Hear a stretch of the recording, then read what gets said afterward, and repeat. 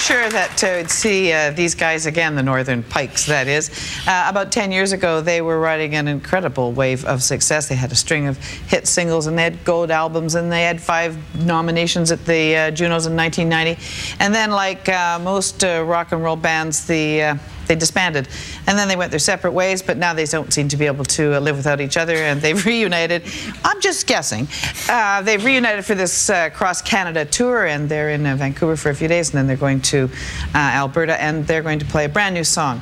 And uh, from the Saskatoon Quartet, it's called A Beautiful Summer, and it can be found on this compilation of hits and assorted secrets, and then we'll talk, and I'm getting out of here.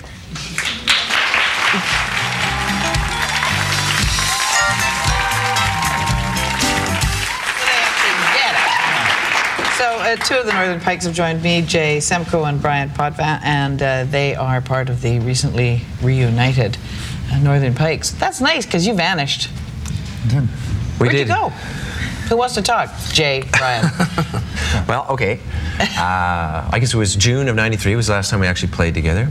Uh, we mixed our live album and then sort of went our separate ways. I guess in the meantime, we did a variety of things. Bryan ended up working as president of A&R.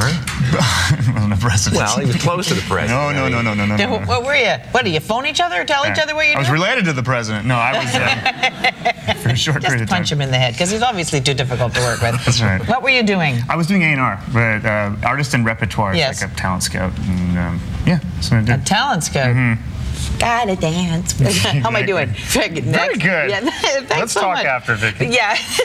uh, but we, what do you mean you recorded your last album and then you went your separate ways? When you record an album, aren't you obligated in some way to, to do to tour it, to back it up, to Well, we did. Um, I mean, not as uh, not as uh, uh, thoroughly po- possibly as the previous three records. Right. But um, we, d- I think we did uh, uh, qualify. You know, doing proper promotion and touring for it. But we were just exhausted. I think that was really the.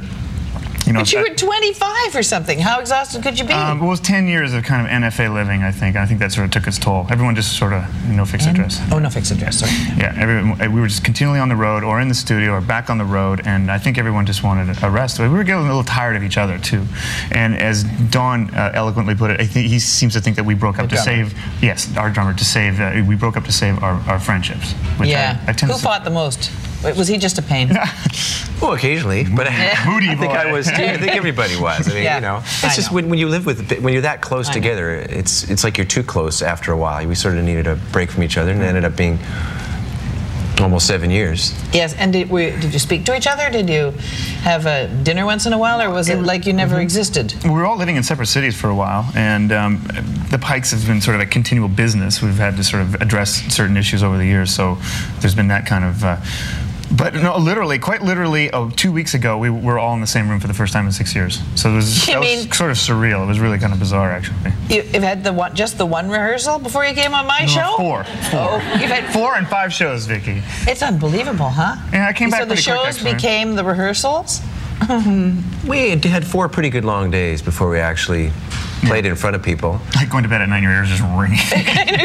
I can't stand this. exactly. You know, we left the TV on. Yeah, Yeah, it's got yeah. that sort of But no, and then and then we've played uh, we've played how many shows? Five, I think, so far, or six or something. Six. They've been all great. They've been just like amazing. Rooms full of love, packed, sold out. Everyone's singing uh, every note to All the every. words. Yeah, They it's know just- everything. It's, it's creepy. It's it, it's um. Like I'm a time amazed warp. actually how how how uh, people have stuck with us and yeah, it's been it's been, uh, It's been an emotional experience actually. and flattering, actually. Yeah. you Yeah. know. It's really- So what happened that uh, day? Whose decision was it to try and do this? Who phoned who first? Ma first. I, you know what? I think we'd have to give credit to Don. Okay. because he was the one uh, um, speaking with the label about the idea of a hits record. And they finally succumbed and went, all right, we'll do this. And then uh, touring it, following up, seemed like uh, the right thing to do, seemed like a fun thing to do. It was very non committal.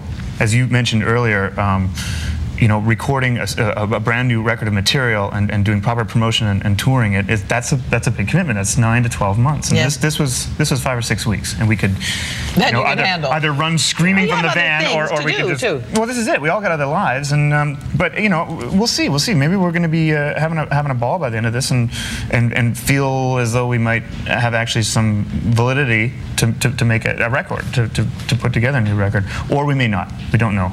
It's yeah, we, I know they're so non-committal here. We'll go across Canada and see if we're Yeah. all still speaking to each other. Yeah, exactly. What was it like that when you all got together that two weeks ago? two weeks ago. It's hard to believe, isn't it? It was pretty neat, actually. I Where mean, was it? In Saskatoon. Yeah, but where? Uh, at a, a golf course. Believe it or not, we were rehearsing in a, a obviously it's winter in Saskatoon, and uh, Yes. golf course is closed, and a clubhouse of a golf course. In the middle of the what song bald did you play prairie, first? What did you start to do first? Oh no, I I was trying to think of that the other day. We might have played. Uh, we might have played "Beautiful Summer," actually. Well, did we? I don't know. I can't even remember. Well, I'm glad you've Who got this nailed down. Uh, you know, uh, you're, you're, as the uh, weeks carry on and people want to interview you, it might be good if you got your story straight. But at the end, no, no, no, it's okay. Uh, at one stage, look, I have to tell you that um, many years ago, and in fact, it was just about the time that you got signed, I went to interview Richard Branson in London. And he was all completely hysterical about signing you guys. And I think it was, no, he was very jumped up. And I didn't know that he had signed a Canadian band. Well, it was Virgin Canada, I guess, but uh, he knew all about you, and I didn't know nothing. And he- So he told me that he had signed you and, and how great you were, and you were. And uh, was that a good relationship? With Richard? Yeah, you and Richard. You have a good time. Oh, yes, it's great. It Didn't is great. He, he did come. Didn't he come and see you? Never. Mm, I don't think so. No, I I- have no idea. Well, we had a great relationship with Virgin, Virgin Music Canada. I mean, it was like Virgin was a very boutique kind of label at that point. Yes. You know, we knew. I guess mean, that's why he knew all his product. Well, this is it, you know. And in Canada, there were nine people working in the office, and, and we were pretty much the only act they had at that point. And yeah, it was just it was a real, you know, easy, tight working relationship. Mm-hmm. Um, they gave us a lot of leeway. I mean, Doug Chappell was the president, and he was turned out to be a very good friend ultimately with us too. You know, so it was kind of a cool thing. what have you been doing?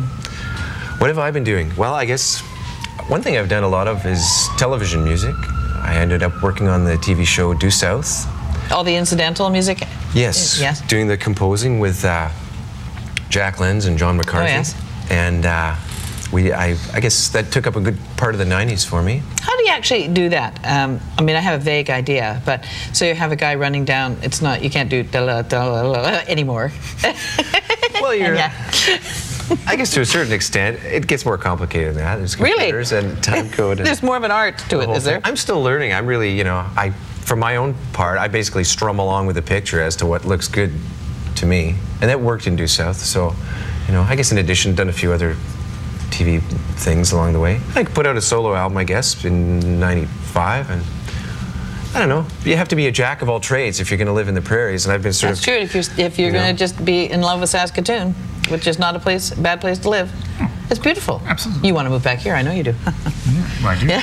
Damn right I do. Anyway, thanks, guys. Thank uh, you. you Thanks, sounded really uh, wonderful. I was Thanks. very impressed. You Oh, know, and you. given your you know extreme vintage now, I think that you're, you're holding up well. Okay, Northern Pikes. They'll be back with uh, another song after this.